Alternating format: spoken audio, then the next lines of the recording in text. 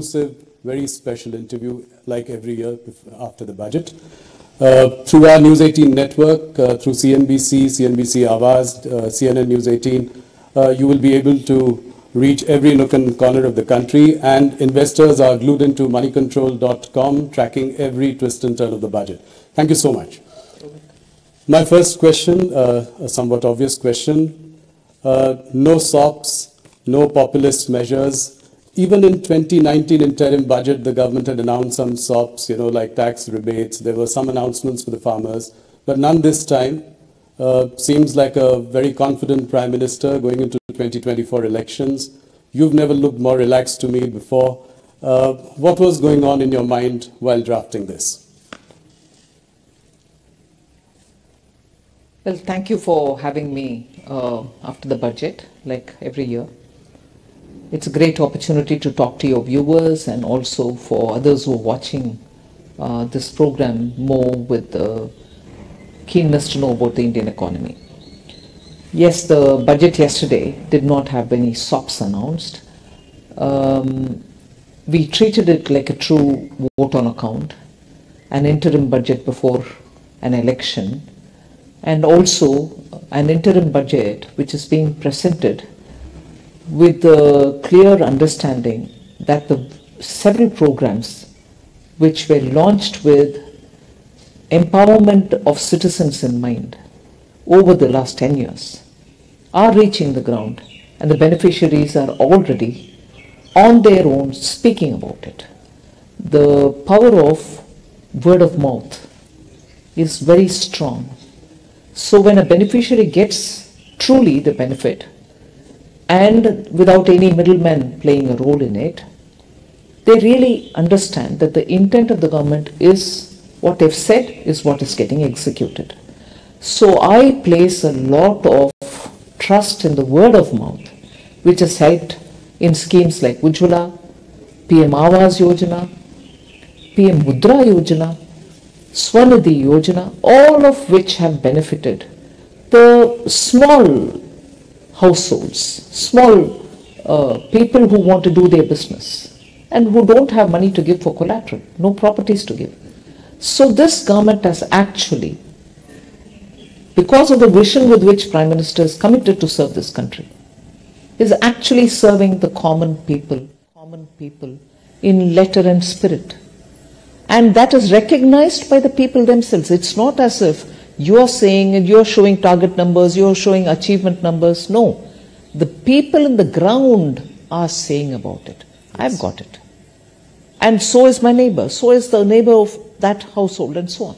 So, and that is why I have used an expression, and I mean it when I've said it, that this is secularism in action. This is where we have not shown any difference between members belonging to this community or that community, this religion or that religion, or somebody's relative and not relative. No difference. The project reaches the ground for everybody who deserves to get it. And if they are eligible, they get it, irrespective of who they are. And therefore, in every way, the principle of empowerment the Sabka Saath, Sabka Vishwas, Sabka uh, Vikas, has been executed in every way. And that is the sense of confidence that the blessings of the people are not just at the time when we gave promises, but the blessings are even now coming in abundantly to say, yes, you've kept up your word. It is what the Prime Minister has also been talking about, the four castes, as he calls it. That's right. You know, the poor, women, farmers, youth. So I think that is the cornerstone of this part, of this speech. Uh, Nirmalaji, you've steered the economy in difficult times. You know, if I look at your last uh, last five years, uh, there's been the pandemic. Right now, two wars are going on. Uh, even then, we are projected to grow at 7.3 percent. Now, if I were to look at the non, nominal, nominal, GDP, which has grown uh, only 10.5 percent, uh, consider an inflation of 4, 4.5 percent, uh, do you think that 7 percent itself would be challenging? I mean, do you think it is realistic for us to grow on those lines? The chief economic advisor has also commented um, in his uh, preface, he's elaborated on how uh, 7% is not difficult to achieve. Um, globally also, the various organizations which look at economies of all countries, like IMF for instance, has also enhanced their own assessment. So, upgrading our growth estimates is not just singularly our business. People are seeing that fundamentally a lot of activities are happening. The robustness of the economy has not slackened anywhere. It has maintained its you know, the, the, the buoyancy with which things are happening, not just revenue collection when I'm talking of buoyancy. So there is reason to believe, yes, it is possible. And the deflator, not just the inflation, but the deflator itself uh, is constantly, meaning we are looking at controlling inflation, the other factors fall in place, so the deflator itself then plays a role, and therefore uh, we are confident that on the one hand we'll be able to manage inflation and on the other to keep the robustness in growth so that it is sustained growth. We have made every effort to look at both growth driving elements and inclusivity driving elements so that nobody is left out from this growth process, both to contribute yes. and to gain from. Indeed. Uh, you know, something that has been commented enough, uh, and you've got a lot of accolades for it in this budget. Uh, if you look at the fiscal glide path, I think you've beaten estimates. Uh, you know, this year you've projected 5.1 next year, so that also looks promising. Uh, what is your message to the sovereign rating agencies? You're expecting an upgrade? Well, I would think that they do their job, but periodically it's our business also to bring it to their notice that economy, particularly emerging market economy like India, despite the odds, we are doing a lot of reforms, systemic reforms, which actually you're seeing is bearing the results now. If only Prime Minister Modi hadn't pressed the pedal, let's say the revving pedal, the accelerator um, during COVID, even as we are managing COVID, we will have to attend to reforms and continue doing the reforms. The Atmanirbhar Bharat announcements. Were all infused with so much of reform measures. Otherwise, we wouldn't have eliminated more than 68,000 rules which were just so archaic and were becoming instruments for rent seeking people. Yes. So, systemic reforms have continued. Whether it was pre COVID GST and IBC, together with very many other yes. reforms like professionalizing public sector banks and so on. The emphasis on reform has given us adequate rewards and we'll continue doing that. That is why even in the budget, we have emphasized on transparency. We have emphasized on getting everything on board the budget process itself rather than keeping it out of outside of the budget or underneath the carpet.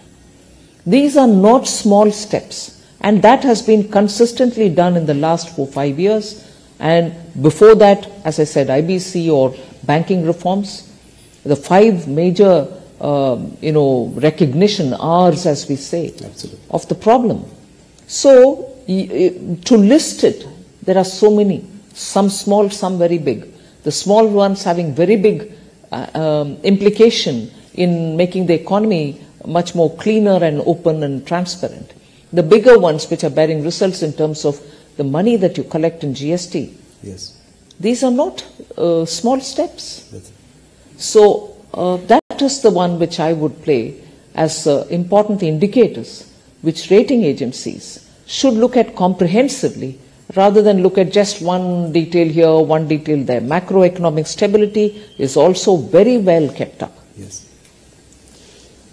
No, glad you mentioned reforms. I think big message coming from you that the government will con continue on the road for reforms. Uh, you know, what are the, I've, I've said this to you before, that, you know, uh, cutting the rich tax last year, you know, in an election year, before that, you know, cutting the corporate rate tax. I mean, you've taken some bold measures.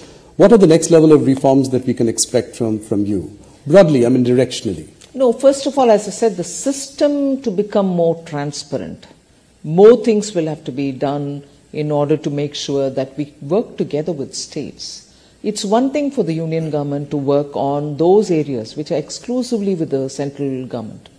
But where, uh, where there are overlaps, there are some states which have come about enthusiastically to say, yes, we should benefit also from this vibrancy which results after such uh, measures are taken. And therefore, when reforms are talked about, we normally always say three levels where it has to be carried out with the same vigor the central government, the state government, and then the local bodies. Yes.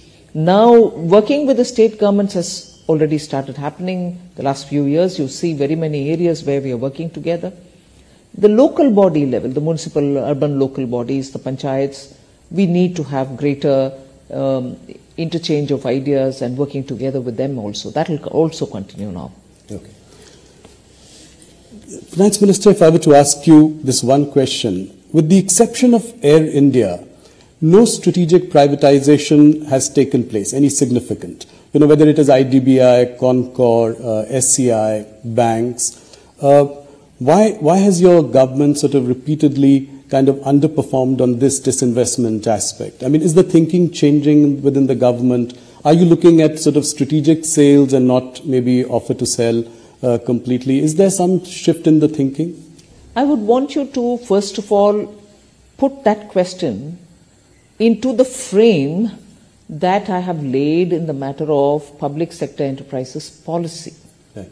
If a policy framework has been announced, and in that we have said that there are only core strategic sectors which government recognizes where the government will be having a minimal presence. Right. And even in those sectors, private sector will be allowed to, or it will be completely open for them to participate in total. In the sense, there will not be any one sector, inclusive of the core strategic sector, which will be exclusively reserved for public sector, whereby consolidation will have to happen to make them big enough for a big country like India. Efficiencies will have to be brought in. Their values will have to be increased. So this question of yours will have to fit into that frame. I, I will not reverse any of the cabinet approved decisions. But at the same time, you should probably also have noticed that for each of them, we are working to make sure we are not allowing them to remain there till they are getting disinvested. Equally, we are working to make sure that their valuations are kept up, they are improved upon. That if you look at the public sector listing listed companies and their valuation in the market today, you see the kind of vibrancy which has been brought in into them. Their share values have gone up. The dividends are even much better than earlier. Absolutely. So, disinvestment is one thing, but in bring in value to them and make sure that the markets look at them absolutely favorably. No, in fact, the public sector companies have done really well, you know, uh, in, and public markets are also where they are. Would you consider sort of diluting your stake maybe to 49% in some of the some of the companies? Thereby, they are not government owned, but at the same time, you have best of both the worlds, and the course, that valuations could go up even further. No, certainly. That is not something which uh, has been uh, uh, denied earlier, meaning as a matter of policy. But in many ways, we are already, you will see periodically, the DIPAM Yes. uh, department which takes care of the disinvestment has slowly, in trickles, released a lot of government's shares into the market so that private ownerships can come in and they can take hold of those shares. So that is happening already, and we'll certainly like to make sure that greater participation, public ownership of In companies like, let's say, SBI or ONGC, yeah, yeah. you know, I mean, th- these, this could be another possibility. absolutely. Thank you. Uh, one of the big ideas this budget, which struck to everyone as a big idea, uh, has been the announcement of a corpus of 1 lakh crore, uh, you know, to provide interest-free or low-interest sort of loans for research and innovation. Can you elaborate a little bit on this? How will this work? Uh, will there be a separate sort of uh, entity managing this? How will it, how will it go forward? Yes, certainly. Um, I first of all would, bring in a bit of a context to, to this. It's not as if we are doing it now for the first time. Earlier too, there were several funds within different departments like the science and technology. Um, uh, they had a CSIR, its own. Funds were all over the place. You had them doing supportive activities for innovation, each from their own side. Two years ago, I remember announcing the National Research Foundation, which brought together all these, uh, you know, thinly spread resources to one uh, pool, and from there, each of the department would claim whatever they would want to uh, fund in terms of innovation supportive activities. But what we've now done is they may remain so, but the government would now bring in a kind of a institution or a vehicle which can take this 1 lakh crore which will be given to them next few years in total uh, as a interest free corpus amount. Using that they can then identify innovation related exercises which are happening in uh, private sector and fund them. I may give this interest free 50 year loan to the corpus but the managers of that fund will then decide to whom at what cost should they give it the cost may vary depending on the risk factors and the judgment of the professionals who will manage it but it's certainly a fund from where private innovation will be supported. It.